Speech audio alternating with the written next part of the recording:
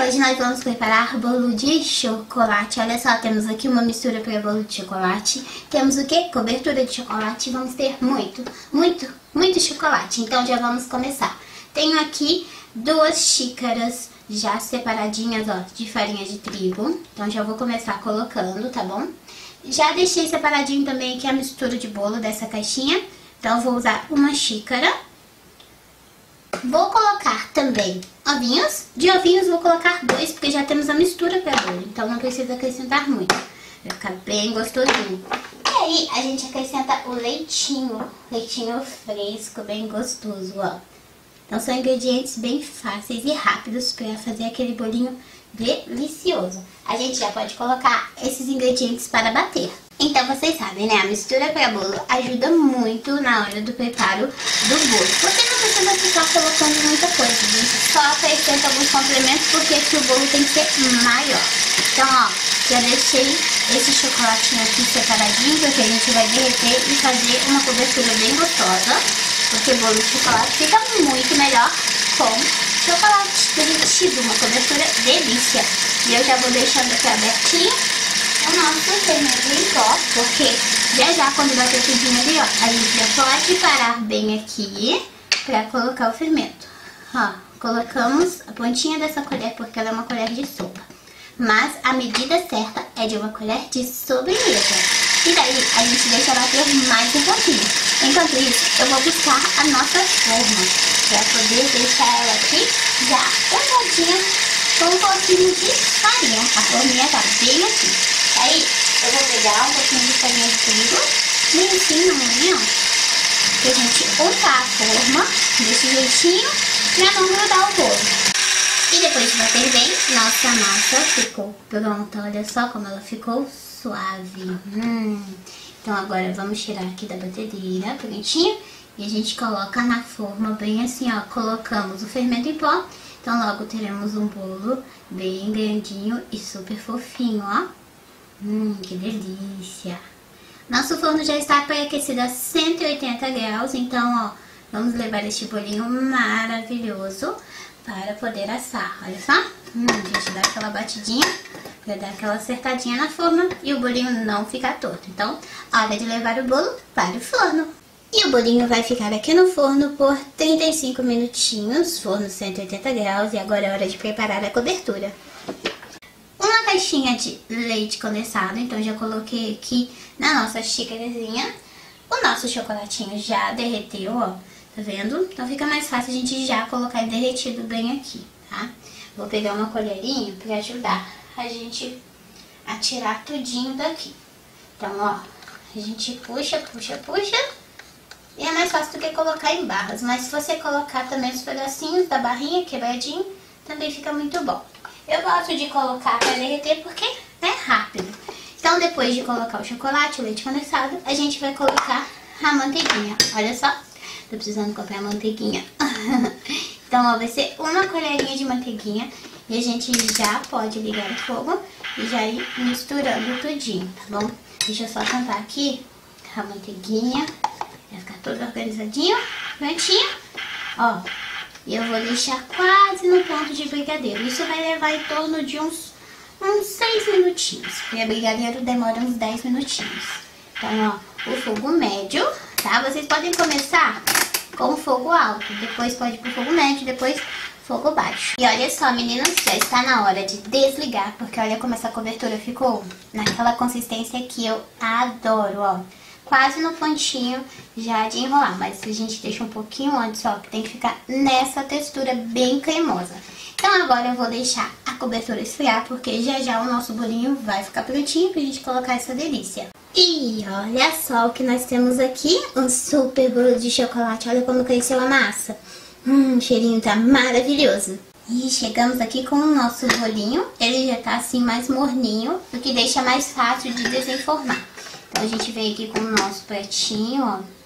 Sempre quando o bolinho assa, eu deixo ele, olha só como desenformou, um tempinho a mais lá no forno, depois do forno desligado, pra ele ficar mais morninho, ó. Tá vendo? Olha só que delícia. E nós colocamos aqui a farinha pra super ajudar a desenformar. Então agora vamos preparar essa delícia. Eu também separei confeitos, olha só, pra gente colocar. Então, ó, vou deixar os confeitos aqui do ladinho de cá, pra ficar mais fácil. E do ladinho de cá nós temos hum, nossa cobertura de chocolate. Nham, nham, nham, nham. Ó, vamos colocar aqui. Depois a gente decora com os confeitozinhos que eu separei. Coloridinhos também, que são de chocolate branco e chocolate preto. Então, ó, nós colocamos aqui bastante cobertura, porque cobertura nunca, nunca é demais, não é meninas? Hum, olha que bolo muito lindo que ficou. Dá até pra dar de presente. Eu gostaria de ganhar um bolinho desse de presente. E agora a gente faz assim, ó. Vamos fazer uma mágica colocando os confeitos por cima. Hum, que delícia. Olha só. Hum, pra deixar cada pedacinho do bolinho bem crocante. Olha como ficou o resultado. Hum, olha se não tá uma delícia. Vamos pegar um pratinho, uma faquinha, porque a gente já corta um pedacinho e já come de montão. Temos aqui o nosso pratinho e temos uma faquinha. Então, ó, é hora de cortar um pedaço deste bolinho. Olha como tá macio. Hum, que delícia. Com bastante cobertura. Vamos segurar o pratinho. Pronto. Agora, a gente vira aqui e corta mais um pedaço bem grandão. Olha aqui. Hum. Pegamos o nosso pratinho. E vou pegar também já um garfinho para super ajudar aqui a colocar o pedacinho do nosso bolinho. Hum, nham, nham. Olha só como ficou. Hum, com bastante cobertura. Temos crocantes por cima. E agora é a melhor hora de todas porque é a hora de comer. Então vamos fazer um mingau de morango. Vou usar o leite condensado também, para ficar bem gostoso. Eu uso para fazer um mingau e deixar mais delícia. Eu gosto de usar, ó, geleia de morango. Bem assim, ó.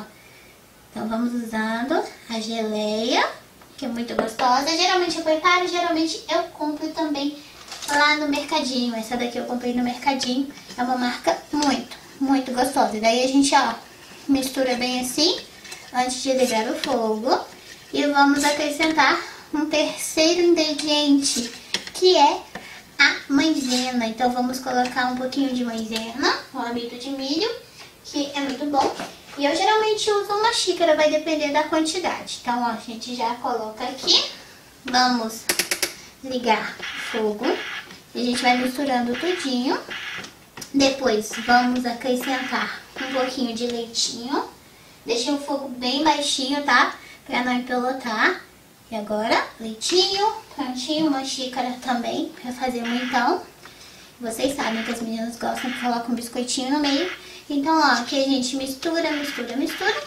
Já já vai começar a engrossar a maisena. E vai ficar um rosa muito lindo. Meio vermelhinho, tá vendo? Porque a geleia de morango é assim bem natural, muito gostosa. E deem só uma olhadinha nesse mingauzinho, meninas, olha só. Que delícia, a consistência já está quase pronto, porque faltam os detalhezinhos. Então, quando eu faço de chocolate, eu gosto de colocar rosquinha de morango. Então, ó, tenho aqui rosquinha de chocolate super gostosa. Então, que eu vou colocando aqui. E também vou colocar um doce que as meninas adoram, que é palha italiana. Então, a gente, ó, acrescenta tudinho aqui neste mingau. Bem assim, ó. Mistura, mistura, mistura. Dá pra colocar vários tipos de biscoitinho. Colocar os biscoitinhos mais durinhos, porque aí eles não amolecem tanto. E fica uma delícia, ó. Então aqui está. Agora sim podemos desligar o fogo.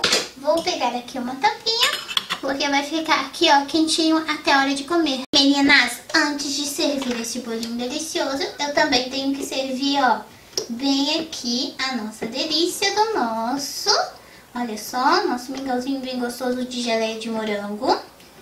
Também colocamos leite condensado, rosquinhas bem deliciosas e colocamos também, ó, a palha italiana. Deixa eu pegar aqui a rosquinha, temos rosquinha aqui. Então vou colocar bastante porque minha filhinha super, super ama. Dá pra colocar também aqui de acabamento pra ficar bem gostoso. Mais um pouquinho de quê? De geleia Daí a gente coloca, pode colocar gotinhas, assim, ó. Uma, duas, ou pode colocar assim, ó, um tantão, fazendo assim. Nham, nham, nham. E agora sim, tá mais do que pronto para comer. Olha só, que lindo e que gostoso.